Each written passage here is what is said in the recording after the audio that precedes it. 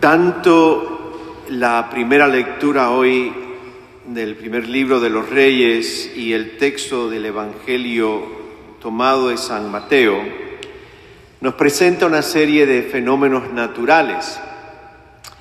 En la primera lectura, Elías está experimentando un viento huracanado fuerte, hay sonido de rocas que se desprenden porque ha habido un terremoto, aparece un fuego y finalmente aparece el sonido suave de la brisa.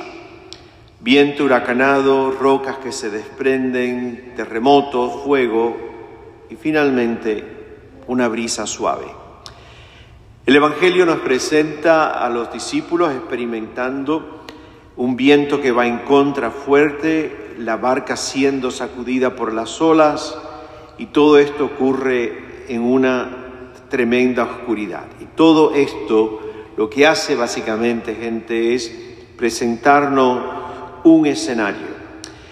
El momento en que Elías se refugia en una roca, en una cueva que encuentra en el camino en el Sinaí, Elías estaba pasando un momento muy difícil. Elías venía huyendo de la persecución que le había plantado una reina cananea que había, se había casado con un rey judío y reinaba ella con Ahab en Jerusalén.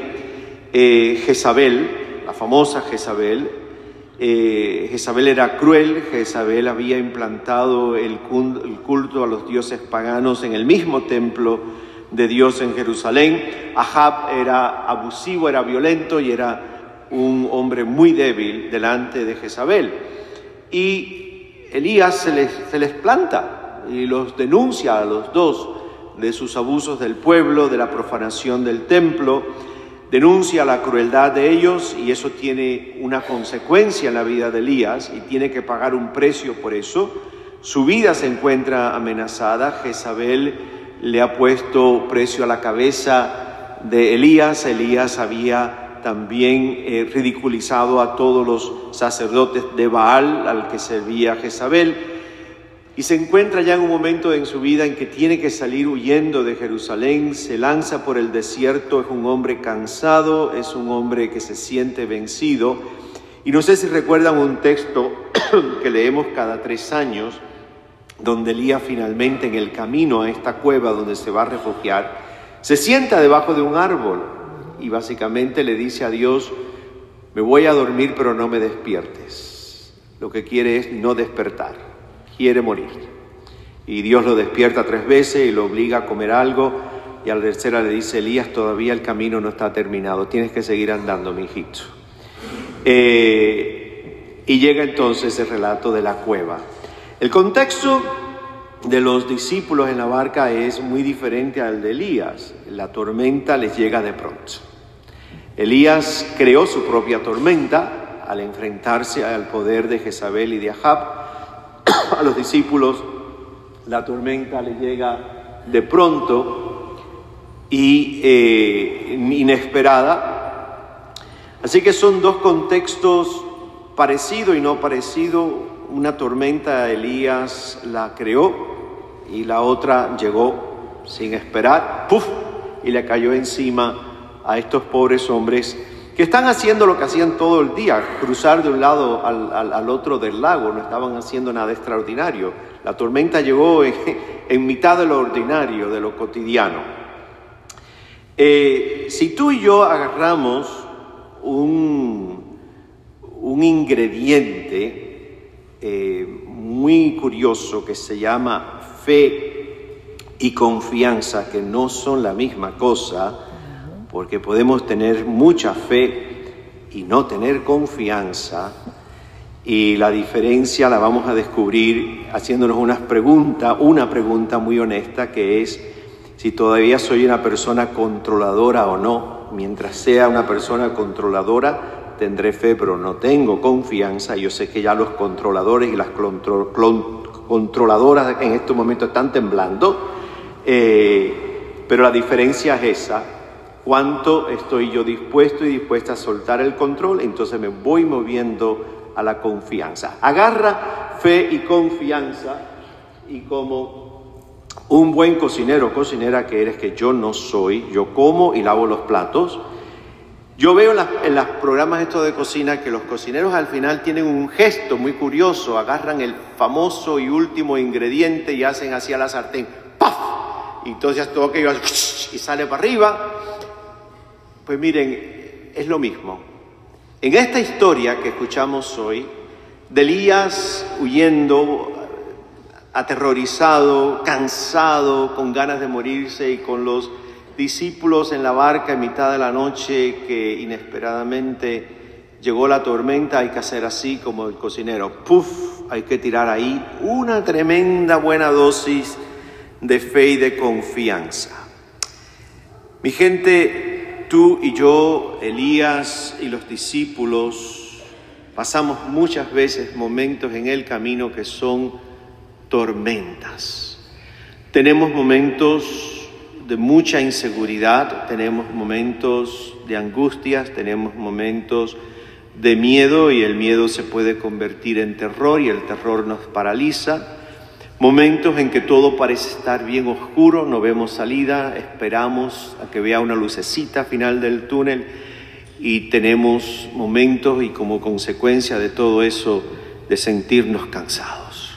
Nos sentimos fatigados físicamente, emocionalmente y espiritualmente. Y en los casos extremos, el ser humano se sienta y le dice a Dios, no me despiertes. Ya, no se puede más. Y entonces Emerge, y me gusta usar la palabra emerger y no aparecer, porque aparecer es como si viniera de afuera, emerge desde adentro la presencia de lo divino. Y emerge desde adentro algo, algo que siempre está, que es Dios, pero que lo reprimimos y lo empujamos al fondo de la olla por el miedo y por la inseguridad. Pero que tarde o temprano es como un manantial. El manantial tarde o temprano tiene que salir a la superficie por su propia fuerza. Y en mitad del miedo, en mitad de la angustia, en mitad del dolor, de la tristeza, de la oscuridad y el cansancio, de pronto, como gracia, y porque es gracia, es un regalo, emerge, emerge un manantial que se llama Dios, que, repito, lo empujamos al fondo. No hay mejor maestro y maestra que la vida. Podemos ir a la universidad, podemos tener un grado académico, pero el lugar donde tú y yo aprendemos a crecer y a vivir se llama la vida. La vida como buena profesora necesita un buen estudiante. Puede ser muy buena el profesor, pero si el estudiante es brutito, pobre profesor. La vida requiere un buen estudiante y un buen estudiante de la vida es la persona que presta atención. Y para prestar atención se necesita una serie de cositas. Se necesita crear un tiempo especial, se necesita buscar un lugar especial y se necesita ante todo hacer silencio. Y ese tiempo y ese lugar y ese silencio nos permite darnos cuenta, nos permite prestar atención. El buen estudiante es el que presta atención. Y nos damos cuenta y el buen estudiante permite ser retado, interpelado. Un buen estudiante hace preguntas y un buen estudiante escucha la respuesta y finalmente un buen estudiante da su propia respuesta. Así aprendemos. Tenemos que buscar tiempo, espacio y silencio para ver qué es lo que nos está diciendo la vida.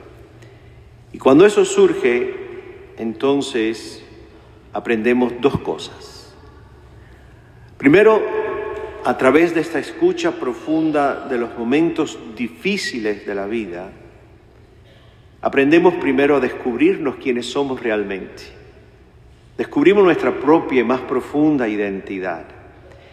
Y Elías se encontró a sí mismo, Elías encontró su verdadero Elías en la cueva después de haber estado huyendo meses por el desierto. Elías se encontró a sí mismo cuando se encontró solo, cuando se encontró cansado, cuando se encontró hambriento y cuando se encontró perseguido. Pedro se encuentra a sí mismo en mitad de una noche de vientos que va en contra y de olas terribles, y cuando Pedro finalmente osadamente se lanza en mitad de esa tormenta, es en ese momento en que Pedro se descubre a sí mismo y lo tiene que hacer gritando y lo tiene que hacer clamando, Señor, sálvame. Nosotros, segundo, una vez que aprendemos a escuchar y aprendemos a ver qué me ha dicho la vida, segundo, descubrimos a Dios. Descubrimos al Dios vivo y verdadero, el Dios que no tiene ni nombre ni rostro, a Dios que se le llama el misterio con M mayúscula, no un misterio, sino el misterio, que lo descubrimos ante todo como un misterio de un profundo amor. Esos son los ingredientes que lanzamos, gente, cuando tú y yo estamos en los momentos propios de Elías y de Pedro.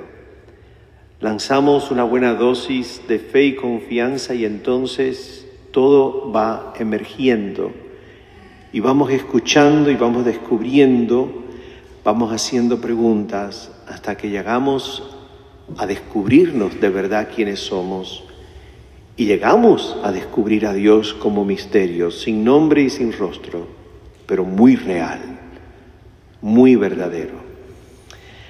Los momentos difíciles del camino de la vida eh, nos han enseñado que para llegar a ese momento en que tú y yo decimos, wow, este soy yo, el momento es en que decimos, wow, y esto es Dios. Eso que llamamos imagen y semejanza en ti y en mí, para llegar a esos momentos se necesitan pasar los momentos de Elías. Decir, ya no puedo más. Y tenemos que llegar a ese momento de Pedro, donde tenemos que empezar a hundirnos. Nuestra tradición cristiana le tiene un nombre a esto, le llama la cruz. La cruz no es otra cosa que la experiencia de Elías y la experiencia de Pedro y la experiencia de Jesús, Hijo de Dios. Tú y yo queremos encontrarnos a nosotros mismos, nuestra imagen más pura, más real, más auténtica, queremos encontrar a Dios, pero lo queremos hacer sin morir a nosotros mismos y lo queremos hacer sin tener momentos de hundimiento. Y la gente, y gente, esto no funciona. No podemos encontrar a Dios vivo y verdadero y no nos podemos encontrar a nosotros mismos sin tener que pasar por los momentos de la cruz. Elías va a experimentar a Dios al final como un susurro suave de una brisa, pero tuvo que pasar primero por el terremoto, por el viento y el huracán, y a través de ellos descubrió a Dios como brisa. Pedro va a descubrir a Cristo como la mano amiga que se extiende y lo saca del fondo del hundimiento en la noche, pero para llegar a esa experiencia tuvo que hundirse primero y tuvo que gritar primero, Señor, sálvame. Son dos momentos bellísimos de transformación en la vida de dos personas. Dios como un susurro, como una brisa suave, y Cristo su Hijo como una mano amiga extendida que nos saca de nuevo a la superficie. Pero las dos cosas requieren que la vida primero se nos derrumbe para entonces escuchar la brisa y permitir que Dios nos saque del hoyo. No se olviden, gente, que esto se llama la cruz. Jesús de Nazaret, la palabra eterna del Padre, el Dios encarnado, lo tuvo que pasar. Así que no tememos, temamos a nuestros momentos de Elías, cansados, agobiados, escondiéndonos de todo, no temamos los momentos de Pedro donde sentimos que el piso se convierte en agua, porque el producto final El producto final, si hemos sido capaces de lanzar ahí el ingrediente fe, confianza, el producto final es una suave brisa y una mano amiga. Así que hoy, osadamente, atrevidamente, le decimos a los momentos eligianos y petrinos, bienvenidos, bienvenidos. Es la mejor escuela, no hay mejor escuela para salir a la superficie que hundirse primero. Y no hay mejor escuela para escuchar a Dios como un susurro que tener primero que pasar por un terremoto. Pero hay que lanzar la dosis de fe y de confianza.